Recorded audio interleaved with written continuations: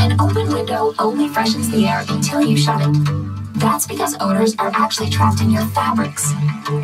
They get released into the air, and you smell them later.